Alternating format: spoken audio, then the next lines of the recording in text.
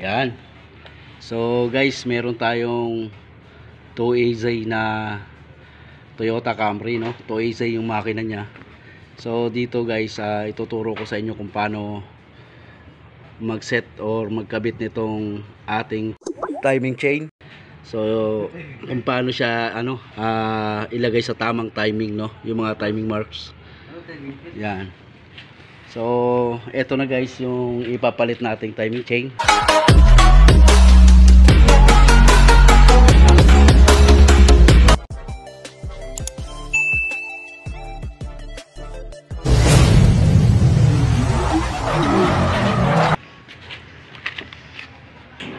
Dito guys sa timing chain,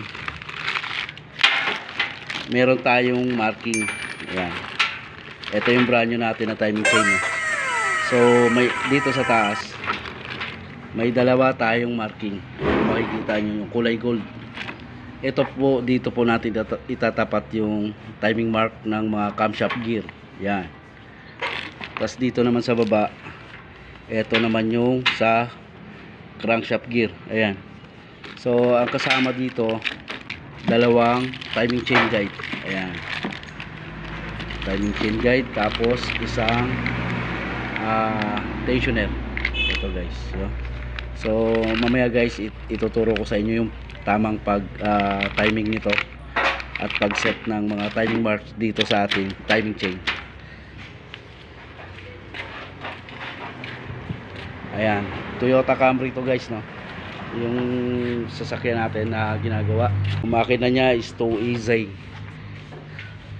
So ngayon ah, nililinis lang yung sa intake na camshaft. So mamaya ikabit ko na rin para may sabit na natin yung ating timing chain. So ngayon guys, ito nang ginawa ko para malaman natin kung naka tapted na yung ating piston or crankshaft no. So naglagay ako ng ano rito ng ng ah, extension rito para itukod natin sa piston. Dito natin malalaman kung nakatap na yung ating ah, piston number 1 yan. Mag, lagi po nagsasabay yan 1 in 4 so pagka tumaas na po yan yung pinaka yun na yung pinaka top tid nya so tapos sa ano naman sa intake sa camshaft ang lagi nyo pong titingnan yung cam loop natin yan. Dapat po naka-close yung valve natin at nakataas yung cam loop na 1, 2, 3, 4 so bawat isang butas kasi nyan ba- guys sa dalawang barbula sa isang butas ng intake natin no? ganun din sa exhaust. So ito nga ah, yan ang naka-close yung 1, 2, 3, 4 na valve natin. So dito sa exhaust naman ganun din. Bawat isang butas ng exhaust nyan dalawa ang engine valve ng exhaust no? So ang naka-close na valve nyan is 1 and 3 1 and 3 so mapapansin nyo nakataas din yung cam loop ng 1, 2 and 5, 6 so eto hindi ko pa nahihigpitan kasi itong mga cup ng camshaft so mamaya guys i ano natin. Ihigpitan ko muna no? So ayan na yung pag-set natin ng camshaft no? Ah, ito yung timing mark po ng ating camshaft gear ayan tapos yan, yan mga guys oh. Ayan yung position ng cam loop ng camshaft ng exhaust. Ayan. Tingnan nyo po. Naka, op, naka taas po yung cam loop natin. Nak- Naka-close po yung ating valve na 1 and 3 sa exhaust. Tapos sa intake naman natin, ayan guys. Ayan. 1, 2, 3, 4. So nakataas din po yung cam loop natin. Ibig sabihin, na-close yung valve natin ng 1, 2, 3, 4 na intake valve. So ito naman yung timing timing mark sa gear niya no.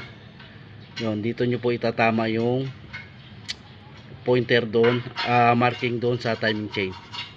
Yan. Sa exhaust naman dito. Ah oil pump natin guys may ano rin yan ha may timing din tapos dito rin sa sprocket ng ano crankshaft. Tapos ito naman yung chain guide niya no yan Okay, so timing chain na. Kakabit ko lang yung gear dito. Kakabit na natin yung ating timing chain na bago. Ito na.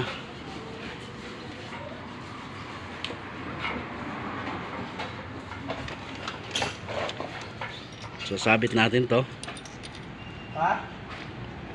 Yan.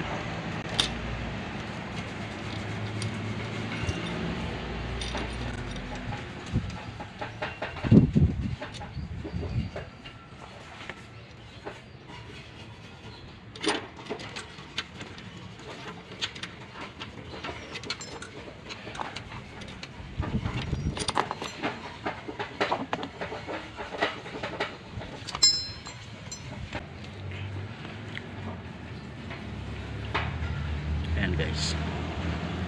Tapos ito.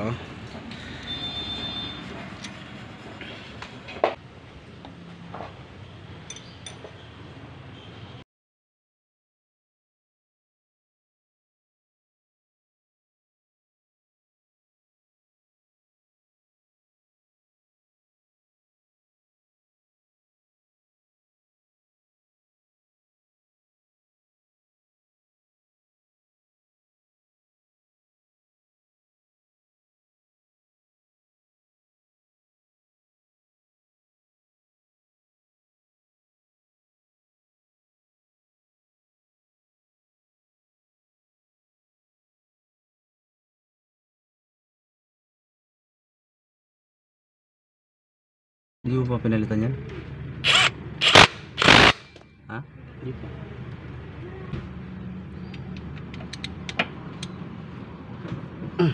So ayan na yung marking ng crankshaft natin oh. Saan? Yan. So sentro-sentro na.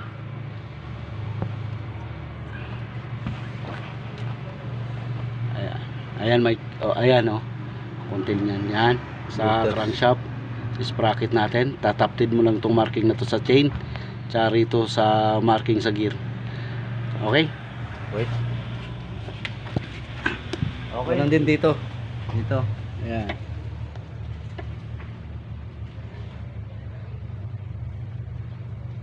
Mm, Right? Alright, man. Okay. Okay. So mamaya guys, ah timing chain cover na lang at saka tensioner yung ilalagay natin, no. Yan yung timing chain guide natin, nakalagay na. Ayan. So dito po tutukod yung tensioner natin para humigpit tong chain. Ayan. Tutulak niya to mamaya. Ito, itong isang timing chain guide. Yan, hindi, hindi talaga gumagalaw tong isa. Nakapix lang po yan. So, timing mark po natin ng ano, exhaust dito. Sa intake naman, ayan. Ito po. Yan. Tapos papakita ko lang sa inyo yung kabit ng chain.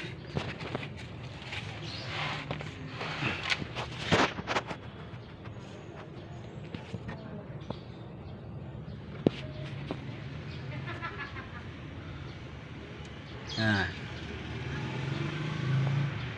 So, ito yung sa crankshaft natin guys, no? Na marking na to. Yan, ganun lang po pag ano, kabit ng mga timing chain ng Toyota Camry na 2AZ. Kahit po sa Toyota Vios, Altis. So, ganyan lang po ang pag-setup ng chain, ah, timing chain.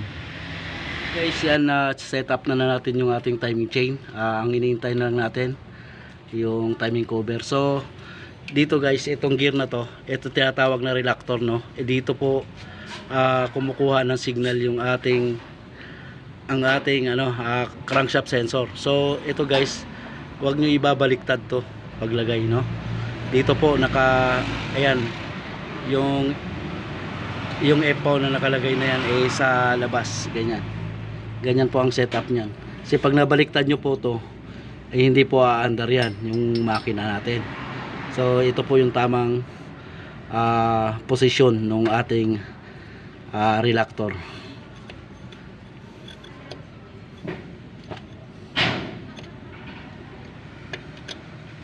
Yan. So, ganyan po ah. Naka, ito po yung pinaka front.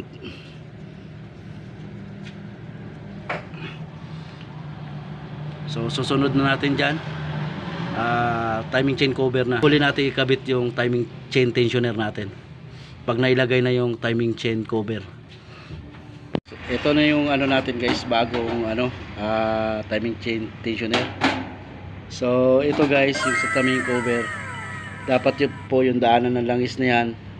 Nililinis nyo rin po, bugahan nyo kasi dito po kumukuha ng langis yung ating timing chain tensioner para itulak niya yung timing chain guide natin no. So ito po ah, napakaliit po na butas na yan.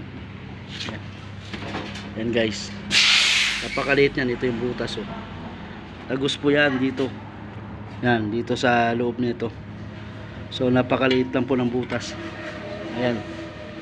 So kailangan po ah, pagka nagbabakay niyan nililinis yung mabuti. Ngayon, so ito kasi yung magtutulak ng timing chain guide natin. Ito kasi ay parang hydraulic type ah, langis yung nagaano sa kanya no, nagpapatulak sa timing chain guide natin dito. Ayan. Dito po. Ayan. So dito po nakatutok yan dito. Yan. Dito. Dito po nakatutok yan. Para itulak yung ating timing chain. So timing chain cover muna ikakabit natin bago tong tensioner no. Ayan o. Yan. Nakapasok po dyan. Yan. So bago nyo ikabit, papabaon muna natin to, ilulubog muna natin to. May lock po yan. Yan. Kakawit nyo po muna ganun. Pagkabit po niyan, pag inikot nyo yung crankshaft, kusa pong magre-release yung lock na yan para tumulak dun sa timing chain natin. Okay? Pero po, panghuli po natin kakabit to pag nailagay na natin yung timing ah, chain cover. Nailagay na natin yung ating timing co ah, timing cover, no? Tutornilyuhan na lang natin mga boss.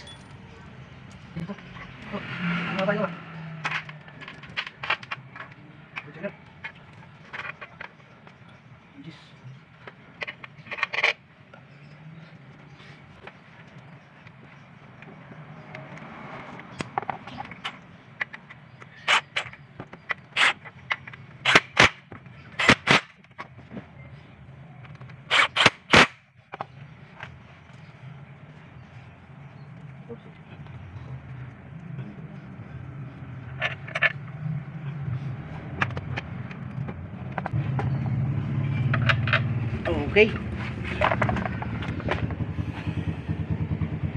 Sa tensioner ba? Yun doon, no?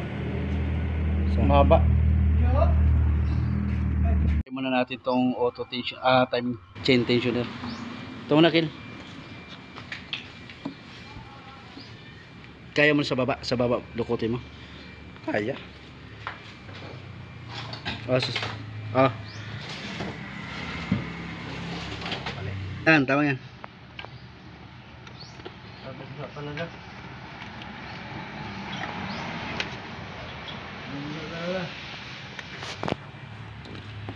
Yan.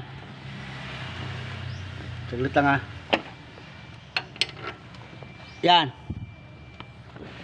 Ah.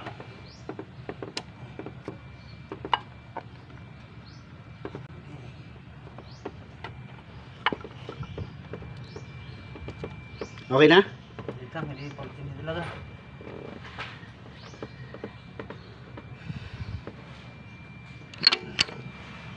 Yan.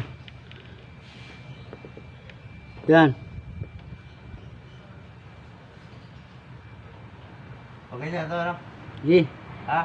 Alin, yan, ganyan.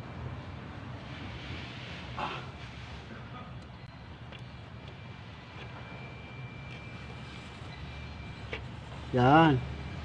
Dalawang G's na mga ano. Nanat. Hihigpitan lang natin yung yung ano ah, timing chain tensioner may dalawang nut na G's yan. So, yan lang po ang ah, bolt niya. So, ayan na guys, nakakabit na yung ating mga pulley, alternator, water pump pulley, tsaka auto tensioner. So, yan po ang tinatanggal pagka nagpalit tayo ng timing chain, tsaka crankshaft pulley, tsaka itong support. No, yung mga support na yan.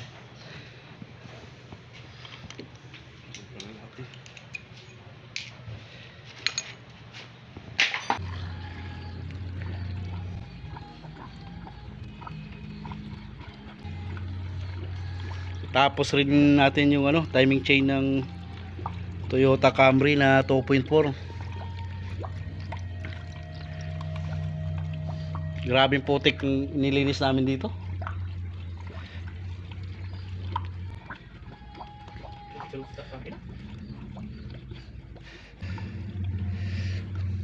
Tingnan natin kung tahimik na yung andar nito.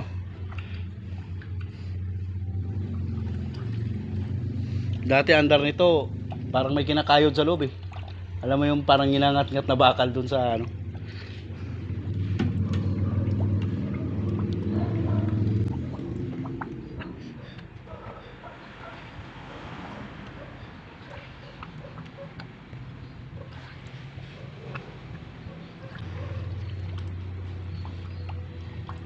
Dami na drain kill, no?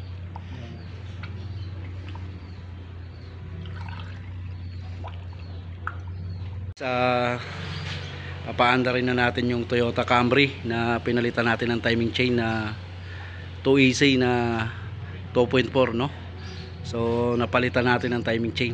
So nagkukulant na lang kami.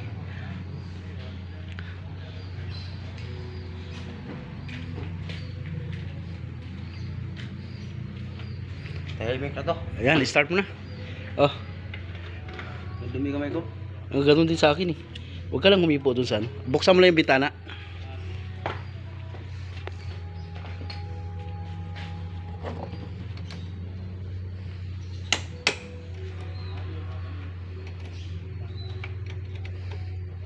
kailangan wala nang gas pang andar dito.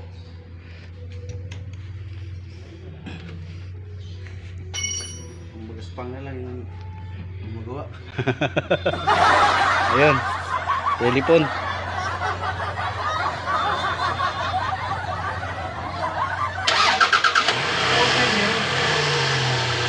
yun oh ayan guys tahimik na yun.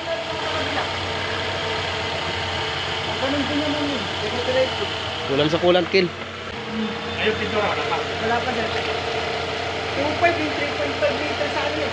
Ha? 2.5. Eh, wala daw sila yung mga litro. Sabi nila na So ayan guys, tahimik na yung 2.4 natin na Camry. Ito yung sobrang dumi rin no, yung oil, sludge na nilinis namin tapos palit timing chain.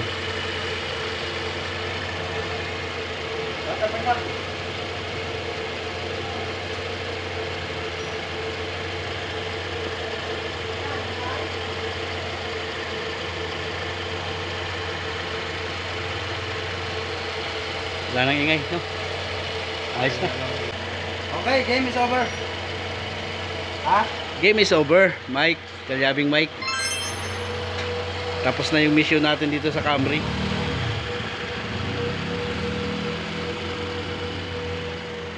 Okay, solving problem. Solving problem na. So, ang concern kasi nito ni boss, no? Talagang pag umanda rito, eh, kala mo may, ba may bakal na kumakayod sa ilalim. So, yun po, pinalitan lang natin ng timing chain.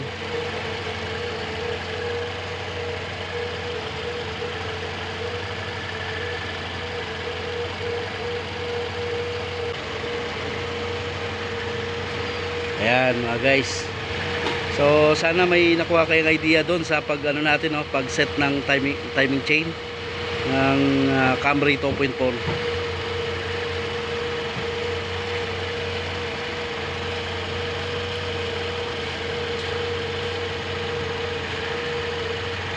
Kasama mo na yung engine ito.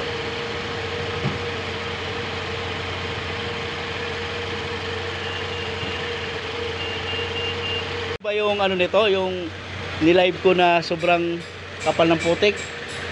Tinagpid niya. Oo, tanggal kami crankcase para lumusot yung mga ano ba.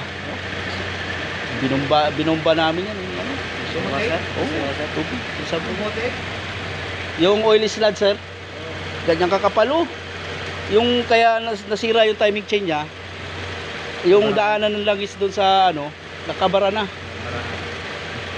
Parang ang ano eh, akala mo mawawasak tong harap niya eh. Ayan, tahimik na siya ngayon oh.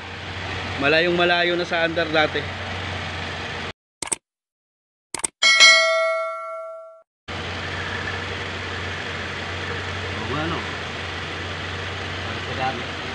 Balik sa dati. Bago.